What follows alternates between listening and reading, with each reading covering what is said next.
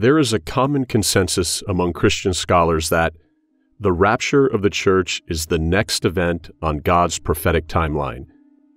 It is one of the great hopes of the Christian faith, and it is shrouded in mystery. It is described as the blessed hope. It is what Christians all across the world are looking forward to. It is what Christians all across the world are anticipating and looking forward to. They are longing for this day.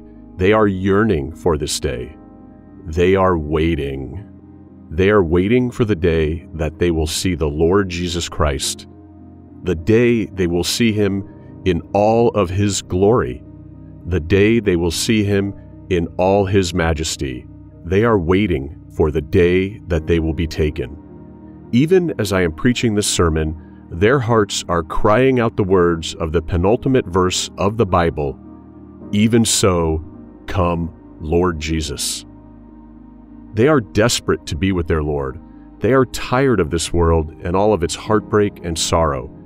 They are tired of the corruption that is in this world. And all they want is to spend eternity with their Lord and Savior. Even so, come, Lord Jesus. They are not in love with this world they are in love with Jesus, and they are waiting for the rapture. They are waiting for that glorious day when the Lord Jesus Christ shall break through the skies, and the dead in Christ shall rise first, followed by millions of Christians, millions of North American Christians, millions of South American Christians, millions of African Christians, millions of Asian Christians, millions of European Christians, millions of Oceania Christians shall all rise up and be taken. Never ever for a moment believe you are alone.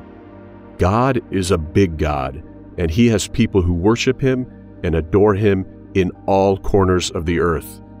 You have brothers and sisters in Christ all across the world.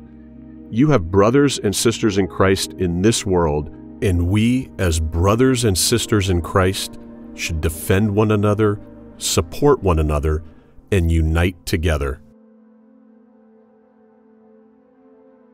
1 Thessalonians chapter 4 verse 16 For the Lord himself will descend from heaven with a shout with the voice of an archangel and with the trumpet of God and the dead in Christ will rise first. Unfortunately, Unfortunately, billions of people on the earth will miss the rapture.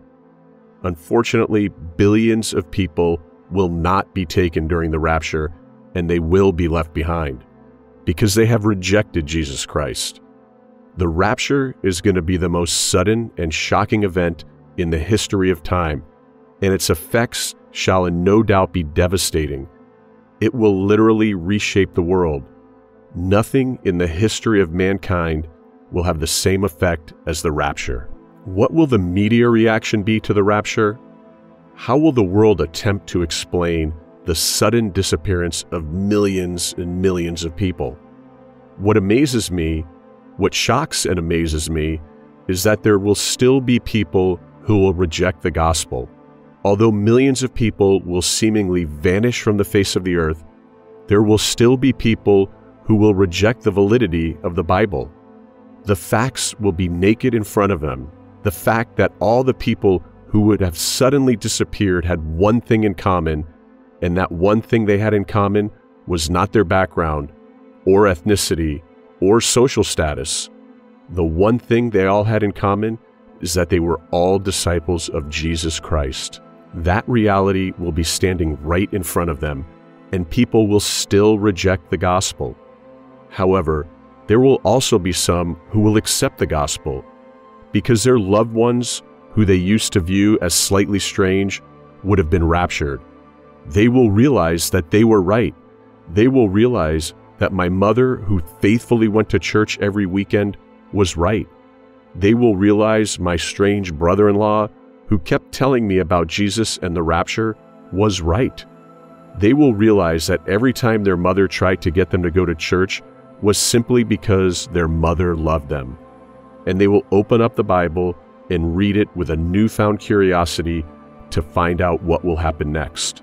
The people left behind after the rapture will think back into the past, all the past missed opportunities to meet Jesus Christ.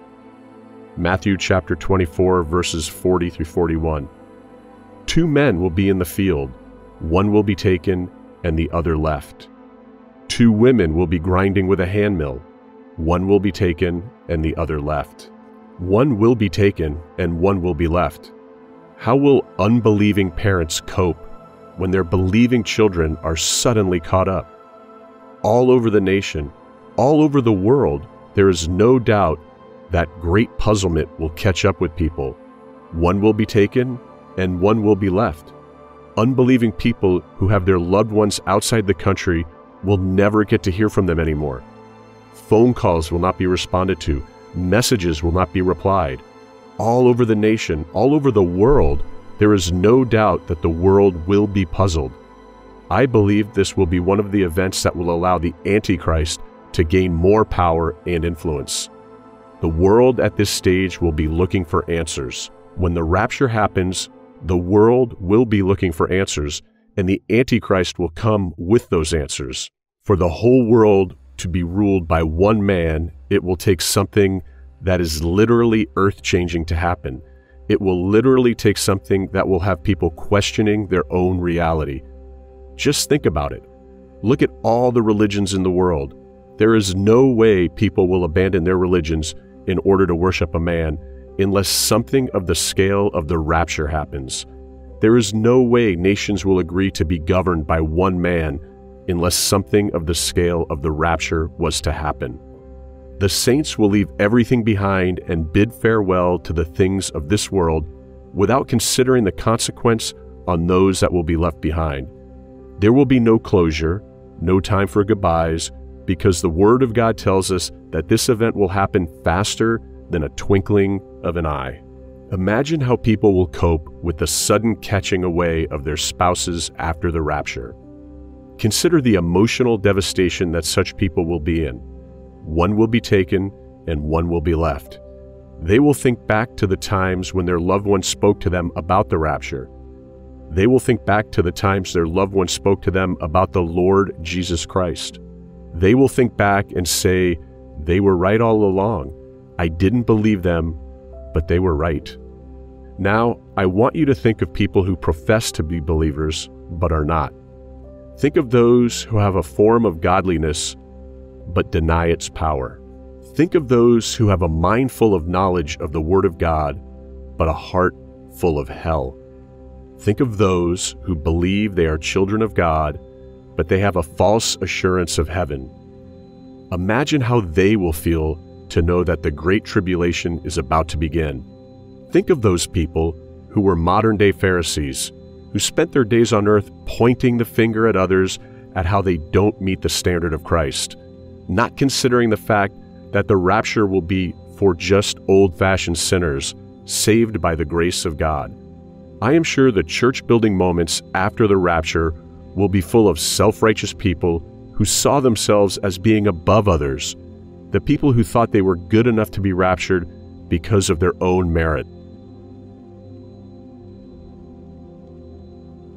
Hold on to Jesus. Jesus is the assurance of salvation and not your good works or behavior. God is a merciful God and he loves you. Yes, he loves you. 2 Peter chapter 3 verse 9 reads, the Lord is not slack concerning his promise, as some men count slackness, but is long-suffered to usward, not willing that any should perish, but that all should come to repentance. The delay in the coming of the Lord is not as a result of failure or weakness to bring what he has determined into reality. God cannot fail. What most people refer to as delay in the coming of the Lord is actually an act of mercy which God is extending to sinners. God does not want anyone to perish. He is delaying the return of the Lord Jesus Christ so that sinners will have the opportunity to repent.